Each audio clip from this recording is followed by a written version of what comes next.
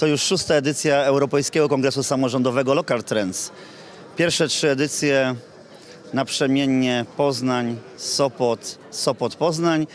Zawsze na jesieni w Poznaniu i dzisiaj to jest najważniejsze spotkanie samorządowców w Polsce, myślę nawet w tej części Europy, bo misja Local Trends wy, wykracza poza granice Polski, bo chciałby,